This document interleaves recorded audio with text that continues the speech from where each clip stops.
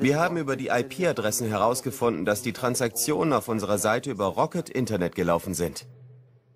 Rocket Internet habe, so Jan, über 100 Mal versucht, seine Kundendaten abzugreifen.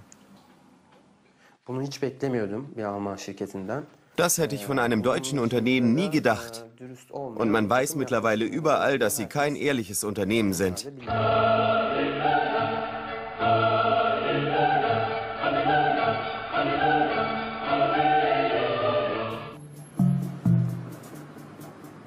Er ist einer der reichsten Deutschen, doch kaum bekannt. Oliver Samba. Seine Geschäfte aber kennen Millionen. Zalando ist sein bislang größter Coup. Er will die eine Milliarde knacken, und zwar als sein persönliches Habe, sozusagen sein persönlicher Gewinn. Ich sage immer, der liebe Gott ist relativ fair. Er lässt im Internet schneller größere Unternehmen bauen. Er lässt die schneller Giganten bauen. Die Samba-Brüder Mark, Oliver und Alexander haben eine Vision. Die ganze Welt soll bei ihnen online shoppen. The buzzword is Die sind böse.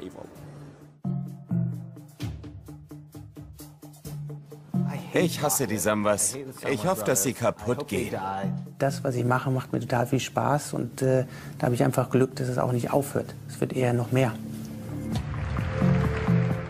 Die schöne neue Welt der Sambas wird von Berlin aus gelenkt. Die Zentrale ihres Firmenimperiums Rocket Internet. Als erstes Fernsehteam überhaupt dürfen wir die Arbeit hier mit der Kamera begleiten. Die Sambas wollen die Einkaufswelt revolutionieren. Doch wie machen sie das? Und wie konnten sie so groß werden?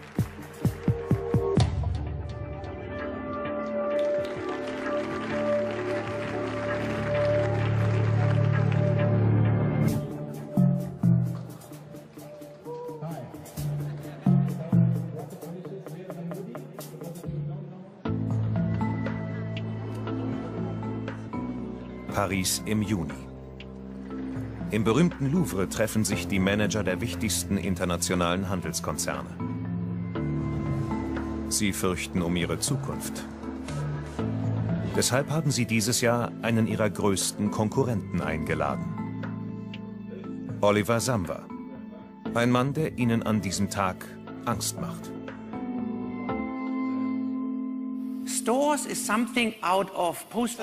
Läden sind Post-Jesus. Das ist sowas von Mittelalter. Das ist doch die Wirklichkeit. Die Menschen haben damals Läden gebaut, weil sie kein Internet hatten. So sieht's doch aus. Mit seinen Internetfirmen wurde er zum Multimillionär. In Paris trifft er auf die Einkaufswelt von gestern. Damit die Manager die Zukunft auch wirklich begreifen, erteilt Samwa ihnen Nachhilfe. Shoppen vom Sofa. Wissen Sie, was passiert, wenn ich nach Hause komme? Meine Frau zeigt mir eine Modeseite im Internet und dann noch eine und noch eine. Guck mal hier, guck mal da. Sie will jetzt nicht mehr Samstag shoppen gehen. Sie shoppt jetzt ständig. Ich weiß genau, was passiert. Ich komme nach Haus und wir müssen wieder gemeinsam online shoppen. So sieht's doch aus. Da staunt die alte Garde und reiht sich dennoch ein in die lange Schlange vor Oliver Samba. Ein kurzer Kontakt mit dem vermeintlichen Propheten der neuen Welt. Kennt er womöglich die Lösung für einbrechende Umsätze in der alten Welt des Einzelhandels? Samba ist Handelsreisender in eigener Sache, ständig unterwegs. Mit seiner digitalen Revolution Made in Germany will er den ganzen Planeten bekehren. Keiner verkauft die Mission besser als er und seine Brüder. Oliver Samwa ist der Frontmann des Trios. Sie dominieren das Internetgeschäft in Deutschland seit Jahren. Die Samwa-Saga beginnt in Köln. Mark, Oliver und Alexander wachsen in einem Villenviertel auf, die Eltern wohlhabend. Ihr Urgroßvater Karl war Direktor der Gothaer Versicherungen. Vater Sigmar Jürgen Samwa, einer der bekanntesten Rechtsanwälte Kölns, vertrat Literaturnobelpreisträger Heinrich Böll und Bundespräsident Karl Carstens. Nach Einser-Abitur und Studium, bevorzugt an einer privaten Elite-Uni, machen sich die Brüder Samwa an ihr gemeinsames Ziel. Sie wollen erfolgreiche Unternehmer werden. Vielleicht sogar die reichsten Männer in Europa.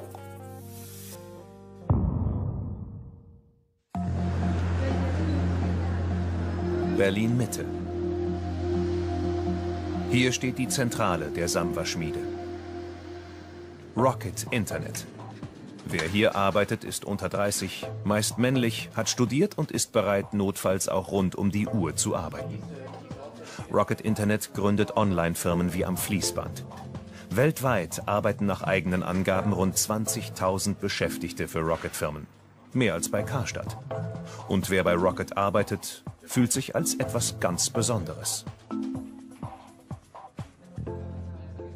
Es gibt schon so den Bedarf in der jungen Generation, Dinge anders zu machen. Die einfach sagen, hier und jetzt, ist mein Leben, ich möchte meinen Traum leben. Wenn man Visionen hat, muss man nicht zum Arzt gehen, wie ein Bundeskanzler mal postuliert hat, sondern die einfach die Welt vielleicht auch zum besseren Ort machen wollen.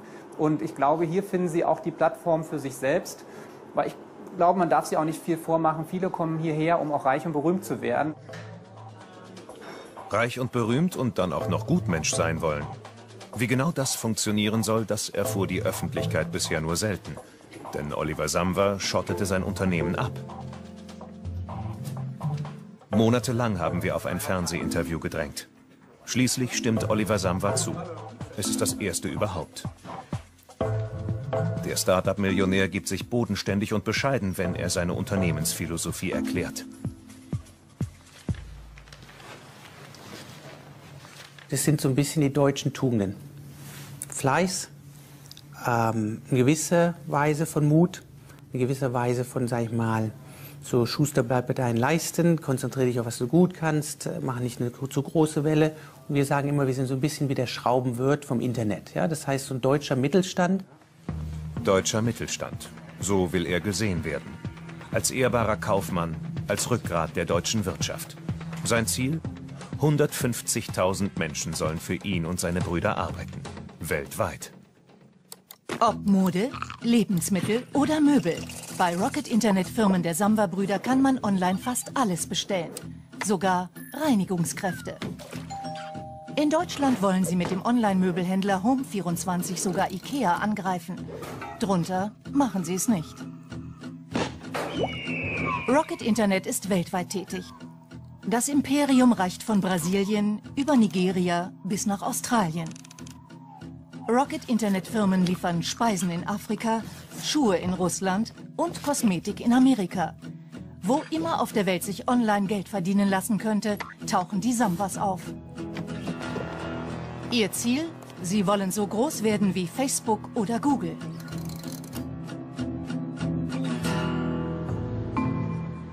Und so sieht das bei Rocket aus, wenn ein neues Unternehmen gemacht wird. Robert, David und Martin wollen im Internet Kisten als Stauraum anbieten. Kunden mieten online so eine Box. Die wird dann nach Hause geliefert, gefüllt und wieder abgeholt und eingelagert.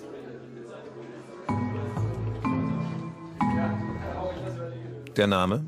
Spaceways.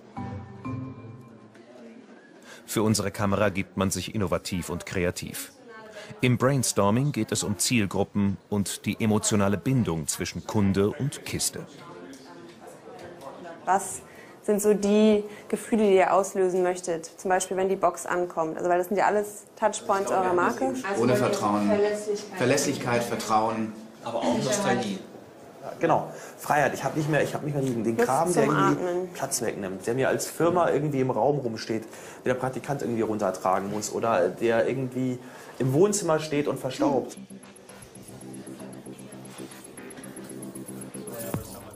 Der Fototermin für den Online-Auftritt gehört dazu. In nur acht Wochen soll die Kiste namens Spaceways an den Start.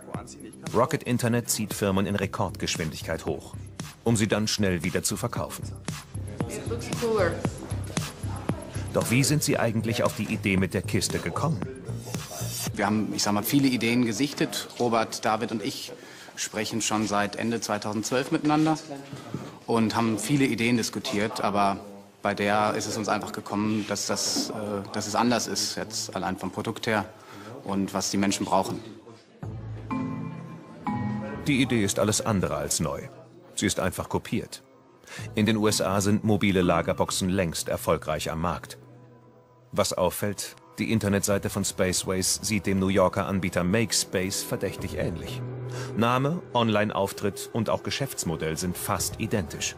Unterschied Die Kiste ist schwarz statt grün. Joel Kaczmarek gibt das wichtigste Magazin der Startup-Szene heraus. Und er beobachtet die Geschäfte der Samwas schon seit Jahren. Die Samwas klonen schon sehr, sehr dreist, weil sehr direkt. Das geht dahin, dass sie teilweise Unternehmen sich betrachten, das Design eins zu eins nachbauen. Von Logo über Name bis hin zu Webseitenaufbau. Da gab es auch Beispiele, da haben sie den Programmcode kopiert. Da konnte man im Samwa-Code noch Textzeilen der Vorbilder lesen. Oder auch ein anderes Beispiel, AGBs, also die Geschäftsbedingungen, hatte man teilweise bei der Konkurrenz eins zu eins kopiert, aber vergessen, den Namen der Konkurrenz auszutragen. Das heißt, man merkte an kleinen Indizien schon, dass die Sambas wirklich sehr direkt kopieren und das sehr, sehr dreist. Denn die Sambas haben sich auf das Klonen spezialisiert. So sind sie reich geworden. Schon 1999 gründen die Brüder Samba das Internet-Auktionshaus Alando ein Klon des amerikanischen Unternehmens eBay. Nur sechs Monate später schluckt der amerikanische Originalkonzern das kopierte Unternehmen aus Deutschland. Und dessen Gründer, die Samba-Brüder, sind auf einen Schlag 43 Millionen Dollar reicher. Der nächste Coup heißt Yamba. Dieses Mal eine Kopie eines japanischen Klingeltonanbieters. Die Sambas werben aggressiv, stecken sehr viel Geld in nervige TV-Spots und werden belohnt. Nach neun Monaten sind über eine Million Nutzer registriert. Dabei sind viele von ihnen Minderjährige. Und die kaufen, ohne es zu ahnen, oft teure Monatsabos. Beschwerden und Prozesse häufen sich. So gesehen taucht der amerikanische Konzern VeriSign genau im richtigen Moment auf. Er schluckt Yamba für 273 Millionen Dollar. Damit sind die Samba-Brüder für weitere Experimente bestens ausgestattet. Das perfide, so ein Ideenklau ist auch noch völlig legal. Oliver Samba kann so sein Risiko minimieren. Er übernimmt einfach die Geschäftsmodelle, die sich schon bewährt haben. Der Vorwurf ist ja immer, dass Sie äh, systematisch Geschäftsideen kopieren. Ist das nicht dreist? Ganz ehrlich, was ist denn das Schwierige?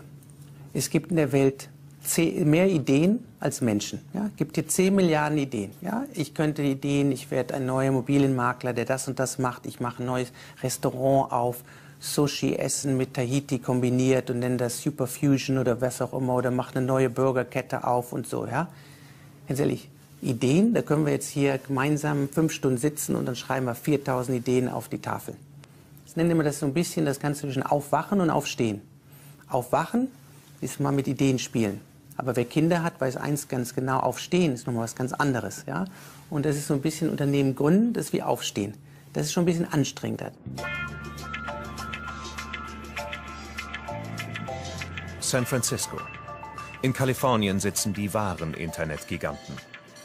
Sie beschäftigen heute weltweit Hunderttausende Mitarbeiter. Ihre Erfindungen veränderten die Welt. Apple mit dem iPhone oder Google mit der Suchmaschine. Im Silicon Valley zählen Ideen, Kreativität und Innovation. Gründer werden gefeiert wie Helden. Auch die Samwas aus Deutschland sind hier berühmt. Aber eher noch sind sie berüchtigt.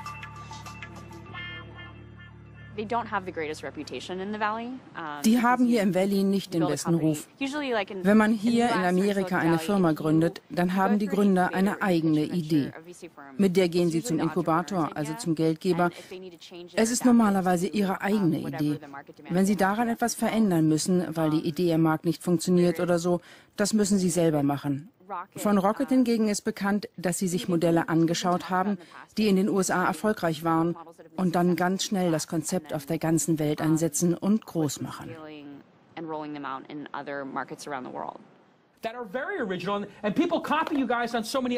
Der bekannte Investor Jason Calacanis wird in seiner Show noch deutlicher. Er warnt regelrecht vor den Samwas.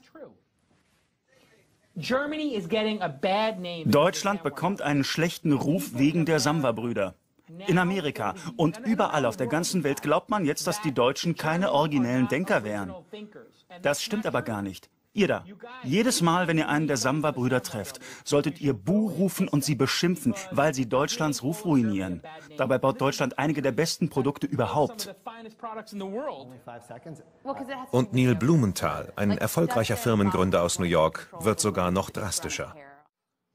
Ich hasse die Sambas. Ich hoffe, dass sie kaputt gehen. In Deutschland trauen sich nur wenige, offen über die Sambas zu reden. Vertraute und Weggefährten sehen in Oliver Samba eher den Macher und Antreiber. Es ist absoluter sportlicher Ehrgeiz und äh, ich denke, dass da eben auch eben es nicht immer nur ums Geld geht, sondern da einfach darum geht, die Nummer eins äh, sein zu wollen. Er findet, er denkt wahnsinnig schnell, viel schneller als vielleicht viele andere denken. Er findet in so einem, diesem Zusammenhang auch ganz häufig sehr viel schneller die Fehler, kann sich unglaublich schnell eben in verschiedene Sachverhalte reindenken.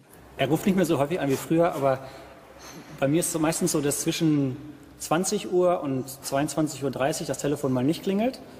Und wenn es dann ab 22.30 Uhr klingelt, ist Oliver Samba. Grüß Gott, guten Morgen. Ich habe eine Lieferung für Herrn Oliver Samba. Auch Joel Kaczmarek war anfangs von Oliver Samba beeindruckt, ehrte ihn vor Jahren als Firmengründer des Jahrzehnts. Inzwischen sieht er ihn kritischer. Oliver Samba hat so ein bisschen auch zwei Gesichter. Das ist teilweise sehr funktional. Wenn er mit Investoren spricht, deren Geld er möchte, die er von seiner Vision überzeugen will, dann spricht er immer sehr, sehr nett. Es gibt so diesen Klassiker, dass er zum Beispiel E-Mails immer mit Dein Olli unterschreibt, wenn er von jemandem etwas möchte, wenn er nett ist. Auf der anderen Seite, wenn es zum Beispiel ums Geschäft geht, um Zahlen, um harte Fakten, wie performt sein Business, dann kann er auch sehr, sehr hart sein. Da werden Mitarbeiter angeschrien, dann fliegen angeblich auch mal Büromöbelstücke oder Papiere. Also da ist er dann sehr, sehr aggressiv und kommt total anders. Er ist halt so ein bisschen sozial reduziert. Er interessiert sich nicht für Normen, sondern nur dann, wenn sie ihm was bringen. Das Samwa-Trio ist in der Szene umstritten. Auch bei Berliner Startups. Essan Dariani gründete einst die erfolgreiche Plattform StudiVZ, das deutsche Facebook. Dann interessierten sich die Samwas für seine Firma. wenn sie etwas von einem wollen, dann sind sie sehr, sehr devot, sind äh, verführerisch, rufen immer wieder an. Also so wie man wirklich eine Frau verführt, so gehen sie auch gegenüber anderen Männern vor. Äh, schmieren einem Honig um, den Mund, äh, sprechen von der gemeinsamen Partnerschaft. Also der Sammer ist so, dass wenn er ähm, einen Deal haben möchte, dann ruft er einen irgendwie zehnmal am Tag an, schreibt 50.000 Briefe, äh, E-Mails und äh, am Ende hat man das Gefühl, dass man der beste Freund und sein Lieblingsbruder ist. Das täuscht. Oliver Samba ist bekannt dafür, dass er immer gewinnen will. Und das verlangt er bedingungslos auch von seinen Mitarbeitern. Legendär seine sogenannte Blitzkrieg-Mail, mit der er 2011 seine Führungskräfte zu Höchstleistungen anstachelte. Zitat Die Zeit für den Blitzkrieg muss klug gewählt sein. So teile mir jedes Land mit Blut geschrieben mit, wann die Zeit reif ist. Wir müssen die aggressivsten sein, so aggressiv, dass wir damit die Konkurrenz überraschen, weil die sich gar nicht vorstellen kann, dass wir so aggressiv sind. Ich bin der aggressivste Mann im Internet, auf dem ganzen Planeten. Ich werde sterben, um zu gewinnen und erwarte dasselbe von euch. Die E-Mail sickerte durch und sorgte vor allem im Ausland für heftige Kritik. Später entschuldigte sich Oliver Samba dafür.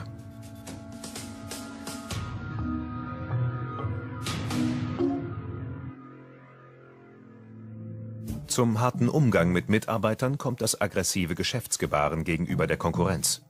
Oliver Samba, der so tugendhafte deutsche Unternehmer, operiert mit seinen Firmen oft rabiat, mitunter am Rande der Legalität.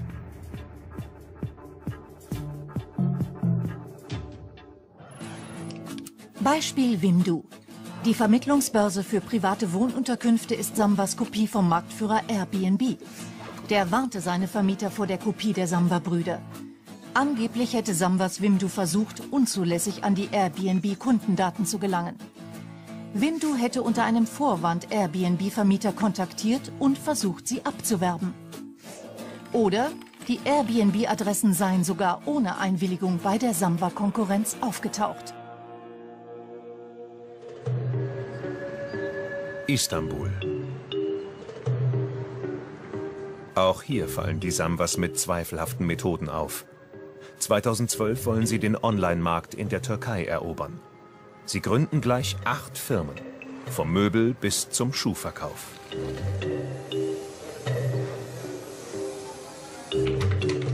Can Alteneller betreibt damals eine Internetplattform für Kunsthandwerk. Seine Kunden bieten ihre selbstgemachten Produkte auf seiner Internetseite zum Kauf an. Das Geschäft läuft gut.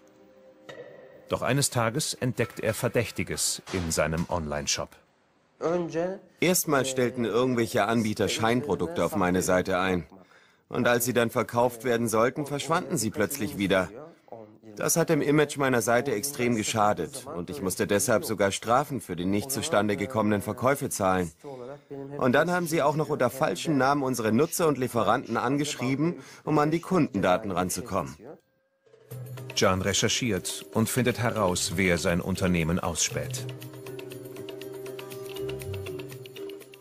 Wir haben über die IP-Adressen herausgefunden, dass die Transaktionen auf unserer Seite über Rocket Internet gelaufen sind. Rocket Internet habe, so Jan, über 100 Mal versucht, seine Kundendaten abzugreifen. Das hätte ich von einem deutschen Unternehmen nie gedacht. Und man weiß mittlerweile überall, dass sie kein ehrliches Unternehmen sind. Ich würde Rocket Internet am ehesten so beschreiben. Sie sind hinterhältig und aggressiv.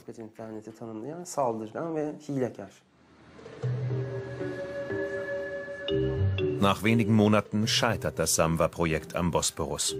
400 Leute werden entlassen. Das Ausspähen der Konkurrenz wird von Oliver Samwa bestritten. A, wir haben noch nie Daten geklaut. B, wenn das doch so wäre, dann würde sich doch jemand äh, mal melden oder so, ja? Und ganz ehrlich, da müssen Sie sehen, wir arbeiten jeden, 18 Tag, äh, jeden Tag 18 Stunden und deshalb gewinnen wir. Nicht, weil wir einmal irgendwas vom lieben Gott bekommen haben oder irgendwas von einem Wettbewerb bekommen haben oder sonst, sondern am Ende, der Edison sagt immer bei den Amerikanern, 1% ist die, 99% ist der Schweiß. Ja? Und wir sind ganz stark äh, in dem Bereich äh, Arbeit, Fleiß äh, und der deutschen Tugenden unterwegs. Sambas Fleiß und deutsche Tugenden, die bekommen jetzt auch die Afrikaner zu spüren.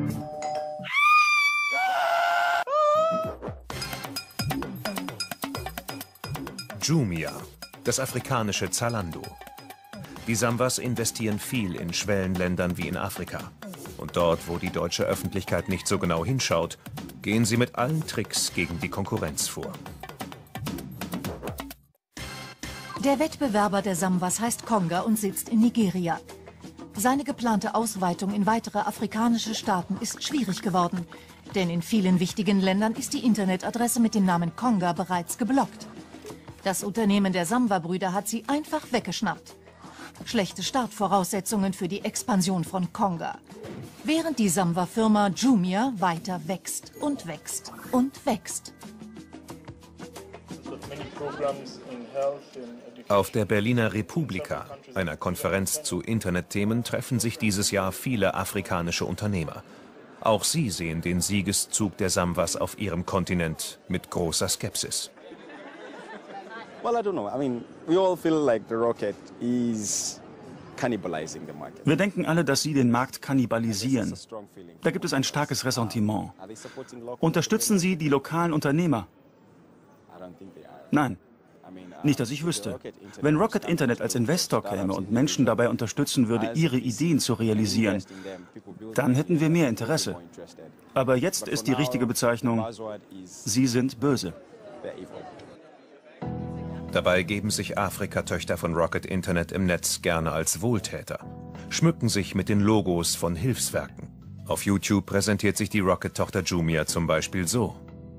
Für jedes verkaufte Buch gibt Jumia eines an Kinder, die sich keins leisten können. Gutes tun und dabei Geld verdienen. Jumia will angeblich 6000 Bücher gespendet haben. Doch One Child, One Book erklärt, lediglich 730 Bücher erhalten zu haben. Eine weitere Rocket-Tochter stellt sich als edler Spender von Schuhen dar. Nach unseren Recherchen kamen bisher nur 200 Paar Schuhe bei den Kindern an. Gutes hat Jumia angeblich auch für diese Organisation geleistet, ACE. Dort weiß man allerdings nichts davon. Verbietet Rocket Internet umgehend die Nutzung ihres Logos. Und nur wenig später verschwindet die ACE von den Seiten der afrikanischen Rocket-Tochterfirma. Berlin. Wir treffen Esan Dariani wieder. Er war 25, als er das soziale Netzwerk StudiVZ für Studenten aufbaute. Seinem Investor Oliver Samwer vertraute er bedenkenlos, auch als der ihm riet, an einen seiner Geschäftspartner zu verkaufen, an Stefan von Holzbrink. Die Männer, denen wir vertraut haben, Samwer und Stefan von Holzbrink und die Manager, haben sich zusammengeschlossen, um uns, mich und uns äh, enorm zu über den Tisch zu ziehen. Also für die, zum einen habe ich für die Hälfte meiner Aktien fast keinen Cent gesehen. Äh, zum anderen wurde ich äh, auf unerfreuliche Weise ähm, aus der weiteren Entwicklung der Firma StudiVZ äh, herausgehalten. Darianis Ansprüche seien vollständig bedient worden, lässt uns Stefan von Holzbrink dazu wissen. Und auch Oliver Samwer bestreitet die Vorwürfe seines ehemaligen Geschäftspartners. Damals war Dariani ein Star der Szene. Sogar Facebook-Gründerlegende Mark Zuckerberg wurde auf ihn aufmerksam. Heute warnt Dariani vor den Samwas. Jede äh, Wissenslücke wird ausgenutzt und das liegt ja in der Natur der Sache. Ich meine, die Jungs sind die ältesten Player in der, in der deutschen Branche, in der deutschen Digitalwirtschaft. Ja, gehören zu den ältesten Playern. Und es ist kein Zufall, dass sie äh, also Firmen kaufen, Beteiligungsverträge machen. Das haben sie Dutzende Male, nicht nur in Deutschland, sondern in vielen Ländern gemacht. Also den Wissensvorsprung, den sie haben, der ist nicht zu vergleichen mit dem Wissen, was irgendwie auch der schlauste Gründer haben kann, der frisch von der Uni kommt oder vielleicht 25 ist oder 30 ist. Ähm, also Vertrauen ist fehl am Platz. Der deutsche Mark Zuckerberg. So lässt sich mittlerweile Oliver Samwer feiern. Sein Aufstieg scheint unaufhaltsam. Auch dank Zalando. Das populärste Samba-Projekt heißt Zalando. Innerhalb von fünf Jahren ist Zalando zum größten Online-Modehändler Deutschlands aufgestiegen. Bekannt wurde Zalando durch schrille Fernsehspots. Der Slogan Schrei vor Glück. Seither kennen fast alle Deutschen die Marke. Mittlerweile macht das Unternehmen fast 2 Milliarden Euro Umsatz und beschäftigt 5000 Mitarbeiter. In 15 Ländern ist Zalando aktiv.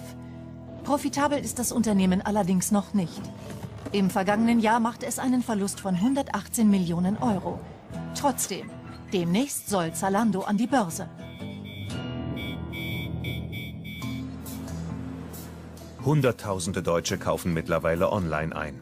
Mit großer Wahrscheinlichkeit auch bei einem Samwa-Unternehmen, dank aggressiver Werbung. Millionen gingen in die klassische Reklame. Zalando setzt aber auch auf andere Marketingstrategien. Hallo, Freunde des guten Modegeschmacks. Ich bin Julina. Ich habe nämlich, wie ihr unschwer erkennen könnt, bei Zalando bestellt. Das ist eine Bloggerin. Blogger schreiben und veröffentlichen Videos im Internet. Sie sind die neue Macht im Netz. Die Links von Bloggerseiten sorgen dafür, dass Zalando-Produkte bei Google ganz weit oben stehen. Hat vorne eben diesen wunder wunderschönen V. Ist ein sehr auffällig Shorts und muss natürlich dementsprechend schlicht kombiniert werden. Was wie privates Shoppingvergnügen wirkt, ist für Zalando knallhartes Marketing und wird mit Gutscheinen vergütet. Frontal 21 und der Wirtschaftswoche liegt eine interne Liste vor. Derzufolge erhielten tausende Webseitenbetreiber Gutscheine von Zalando. Von so einer versteckten Werbung erfahren die User oft nichts. Zalando will uns dazu kein Interview geben. Erklärt, man habe gar keinen Einfluss darauf, wie Blogger ihre Ware präsentieren und bewerten. Blogger nehmen in dieser Rolle oft den Part ein, dass sie so ein bisschen für Kompetenz stehen und eigentlich dem Kunden vermitteln, diese Marke, die ich von der Sache her kenne, ist die eigentlich vertrauenswürdig und in welchen Dimensionen funktioniert die eigentlich? Das heißt, es geht eigentlich eine Ebene tiefer und man schafft dann dieses, dieses Engagement, wie man im Internet sagt, dieses Gefühl, wie etwas funktioniert und wie, wie ich mich damit auseinandersetzen habe. Und deswegen spielen Blogger bei Zalando und Co. eine wichtige Rolle. Kunden gewinnt Zalando auch mit den kostenlosen Retouren. 50 Prozent, also jedes zweite Päckchen schicken die Kunden zurück. Einerseits ist das Zalandos größtes Problem, andererseits aber auch ein großer Wettbewerbsvorteil. Dagegen haben Ladenbesitzer wie Maren von Holst keine Chance. Sie besaß sechs Jahre lang eine Boutique im Hamburger Grindelviertel. Doch nun gibt sie auf dass Kunden kommen, sich Ware angucken, sich beraten lassen, gerne auch mal ein Foto machen und dann wahrscheinlich äh, Zalando oder so online bestellen. Also es kommen tatsächlich Kunden rein, man sieht, dass das Handy auf Fotomodus mitläuft und wenn man sie darauf anspricht, dass man das nicht möchte, auch noch ganz ähm, erstaunt sind.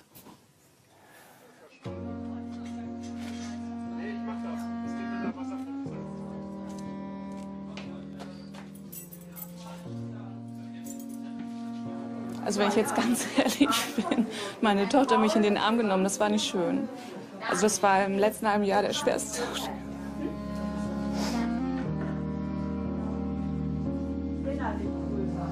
Das war der schwerste Gang, tatsächlich. Einzelhändler Jimmy Bloom ist zum Abschied seiner Ladennachbarin gekommen. Auch er kämpft mit seinem Modeladen seit Jahren gegen den übermächtigen Gegner Zalando. Erst bleiben die Kunden weg und dann muss er auch noch die Zalando-Päckchen für die Nachbarn entgegennehmen. Er befürchtet eine Verödung der Stadtteile. Wir haben hier gerade bei uns im schönen Grindelviertel massive ähm, Schließungen von Einzelhandelsgeschäften. Die werden auch ganz schwierig nur wieder an andere Einzelhändler vermietet. Da gehen dann irgendwelche Steuerberater, Rechtsanwälte rein, die sich halt nicht um eine Schaufensterdekoration kümmern, die ähm, ihr Büro da halten, was eigentlich früher immer in der ersten Etage stationiert war. Und das wird noch ein massives Problem werden. Jimmy Bloom organisiert den Widerstand gegen die Samba-Offensive aus dem Netz. Also ich glaube, die Leute machen sich überhaupt keine Gedanken. Sonst hätte ich ja nicht so viel Feedback bekommen nach unserer Aktion. Und sensibilisieren können wir sie nur, indem wir immer wieder darauf aufmerksam machen, support your local dealer.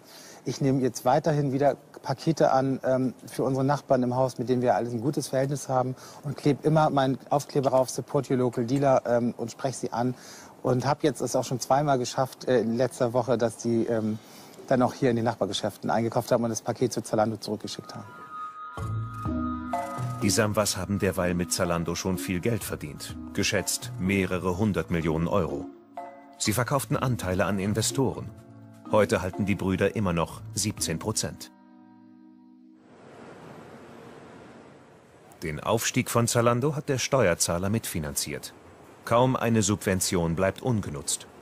Der Staat gab reichlich für den Bau von Lagern, Lohnkosten und die Ausbildung von Mitarbeitern. Insgesamt wurden mindestens 42 Millionen Euro bewilligt. Bekannt war bisher immer nur eine deutlich geringere Summe in Thüringen. Thüringen ist natürlich immer unter dem Druck, unter dem gnadenlosen Druck, neue Arbeitsplätze zu schaffen. Dann kommen vor allem heute die Online-Firmen, unter anderem Zalando, bauen da äh, eine Halle mit, die so groß ist wie 18 Fußballfelder. Und dann kommt sofort natürlich der thüringische Staat und sagt, ihr kriegt aus unseren Wirtschaftsfördermitteln, aus dem Thüringer Fonds, beziehungsweise genauer gesagt sind es äh, Gemeinschaftsaufgabe regionale Wirtschaftsförderung, der EU kriegt ihr 22,4 Millionen. Und das ist eine skrupellose Abstauberei von Subventionen. Während Oliver Sambas bekanntestes Unternehmen sich gern beim Staat bedient, hat er viele Firmen seines Rocket-Internet-Konzerns im steuerbegünstigten Ausland angesiedelt. Das Geflecht der Samba-Firmen ist für Außenstehende kaum zu durchschauen. Ein Labyrinth aus 1500 Beteiligungen weltweit. Mehr als 100 Samba-Tochterfirmen sitzen nach unseren Recherchen im steuerbegünstigten Luxemburg. Weitere Samba-Ableger finden sich in klassischen Steueroasen, wie im amerikanischen Delaware. Um Steuern zu sparen? Delaware zum Beispiel ist ganz selten. Die Amerikaner machen sehr, sehr viele. Also wenn sie in Amerika und wenn sie irgendwas im Daten zu tun haben, das tun sie immer in Delaware. Ja? Aber ich glaube, es geht generell der falsche Fokus. Das ist nicht, wir haben keinen Steuerabteil, das ist nicht unser Fokus, worauf wir uns konzentrieren. Professor Lorenz Jarras ist ein renommierter Steuerexperte. Für ihn ist klar, warum Firmen nach Delaware gehen. Delaware hat den entscheidenden Vorteil, dass es eben ein amerikanischer Bundesstaat ist, wo man staatlich lizenziert eine Steueroase aufgebaut hat. Und deshalb haben alle größeren deutschen Firmen in Delaware Niederlassungen, weil sie damit sozusagen schon einen Stützpunkt haben, äh, von dem sie aus extrem steuerbegünstigt in USA Geschäfte machen können. Und Luxemburg? Wir haben im luxemburgischen Handelsregister nachgeschaut und über 100 Firmen, Tochterfirmen von Rocket Internet gefunden. Wir haben auch Gesellschaften in Luxemburg und es liegt ganz äh, daran, dass es für amerikanische Investoren die Luxemburger Gesetzgebung besser ist zu investieren als in Deutschland. Das heißt, für Sie entstehen keine Steuervorteile dadurch, dass diese Unternehmen Nein. in Luxemburg sind? Nein. Wenn der Wenn wir eine äh, Dividende bekommen, zahlen wir deutsche Steuer. Wenn wir ein Unternehmen verkaufen, zahlen wir deutsche Steuer. Für uns steht keine. Ja. Neuer Erklärungsversuch. Also ich glaube, wenn man jetzt noch versucht zu interpretieren, dass wir nicht deutsch sind, dann wird es ganz schön schwierig. Ja? Ich glaube, wir sind deutsch, deutsch, deutsch und dann sind wir international. Ja? Und wir haben keinen Vorteil aus, also Rocket in Steuer, nichts. Luxemburg hat die Entscheidung getroffen, dass alle Beteiligungen, die in Luxemburg gehalten werden, de facto ganz legal steuerfrei sind. Und zwar nicht nur die laufenden Erträge, sondern auch äh, Verkaufserträge. Und das ist sehr angenehm für jeden, der im internationalen Bereich Beteiligungen kaufen und verkaufen will. Berlin im Frühsommer. Das Soho House ist eine noble Adresse in der Hauptstadt. Hier findet ein exklusives Treffen von Investoren und Analysten statt. Wir sind nicht eingeladen. Oliver Samwer plant sein Meisterstück, den Börsengang von Rocket Internet.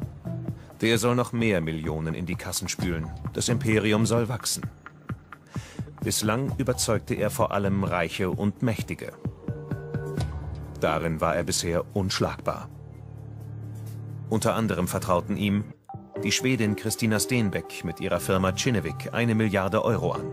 Weiter investierte Len Blavatnik, ein russisch-amerikanischer Milliardär. Lakshmi Mittal, indischer Stahlmagnat. Viktor Pinchuk, ukrainischer Industrieller und der Clan des ehemaligen italienischen Ministerpräsidenten Silvio Berlusconi. Und jüngst gab auch noch ein philippinischer Telefonkonzern über 300 Millionen Euro. Angeblich ist Rocket Internet insgesamt zwischen 3 und 5 Milliarden Euro wert.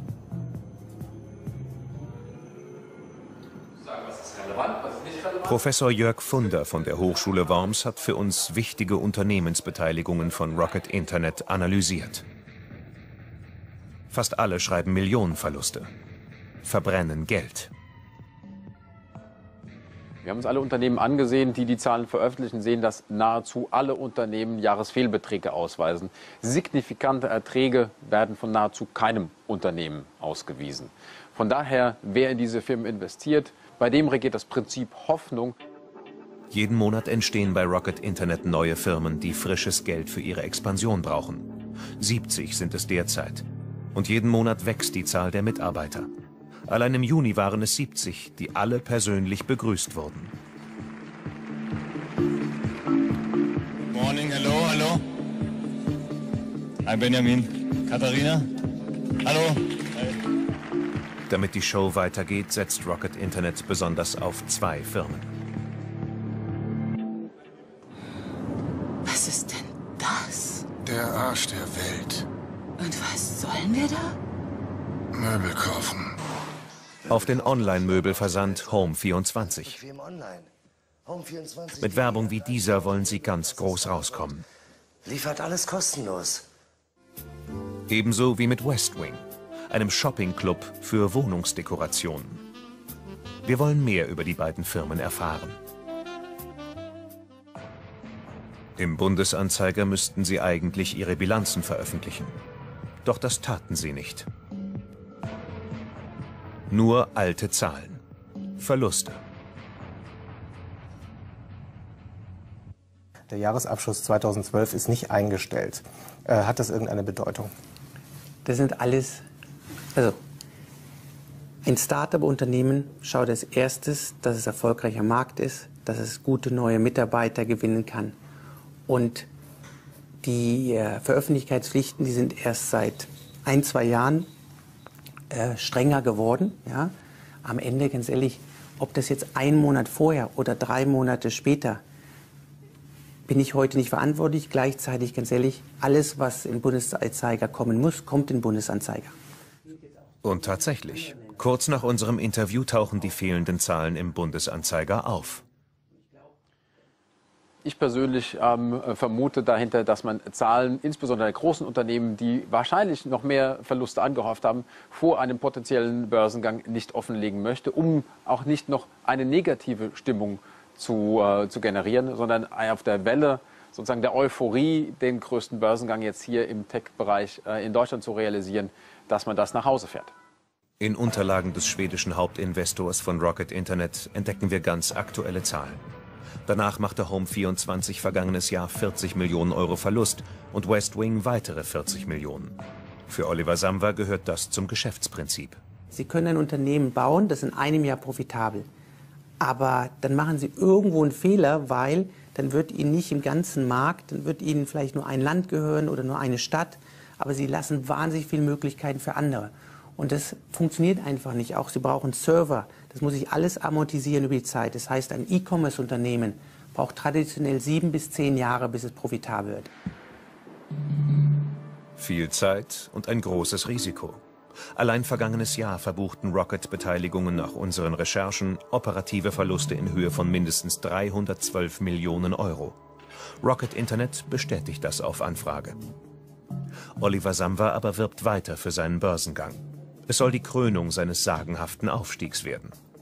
Seltsam nur, laut Finanzkreisen soll der vermeintliche Milliardenkonzern gar nicht an die übliche Börse für Großunternehmen, sondern an den Open Market gehen. Der ist riskant, weil kaum staatlich reguliert. Also in meinen Augen ist das ein ganz schlechtes Beispiel äh, dafür, seriös, auf seriöser Basis Kapital zu gewinnen für das Unternehmen. Ganz eindeutig. Weil sonst würde man normalen Aktien, ein IPO, normalen Aktien Gang Auftritt machen insgesamt. Und ich sage gerade bei so einem Unternehmen, das ja, dessen Geschäftsgeheimnis ja geradezu besteht, darin e-, extrem geheimnisvoll zu sein, müsste eigentlich gerade beim Börsengang mehr auf den Tisch gelegt werden. Und ich kann nur sagen, ich kann mit der Empirie argumentieren, ich kann mit den Beispielen argumentieren, wie viel an dieser Börse sich am, später als dubios bzw. als Luschen erwiesen haben, wo Kapitalanleger viel Geld verloren haben. Und das muss ja Oliver Samba muss es wissen. Auch wenn Rocket Internet den Börsengang offiziell nicht bestätigen will, alle Vorkehrungen sind längst getroffen. Rocket Internet ist in eine Aktiengesellschaft umgewandelt. Oliver Sam war ihr Vorstandsvorsitzender. Und aus dem Gründungsbericht der neuen AG geht Erstaunliches hervor. Erst einmal haben nämlich die Samwer-Brüder Kasse gemacht. Zitat. Es wurde eine Vorabausschüttung in Bar an die European Founders Fund GmbH von insgesamt 286 Millionen Euro vorgenommen. Der gehört den Samwas. Also ich habe mir keine Vorabausschüttung von 286 Millionen genehmigt. Wir haben bestimmte Strukturen verändern müssen, um, äh, um die Gesellschaft in eine AG umzuwandeln.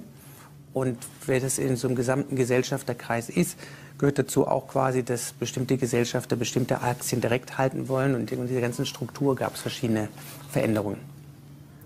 Aber das Geld ist ja an den äh, European Founders Fund äh, geflossen. Da sind Sie ja mit Ihrem Bruder der Inhaber